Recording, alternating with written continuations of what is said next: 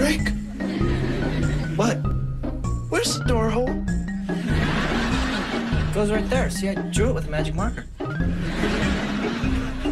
You were supposed to cut it out with the.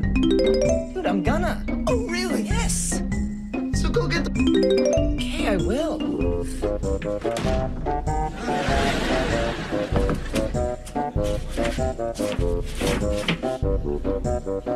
I see the problem. Oh, do ya?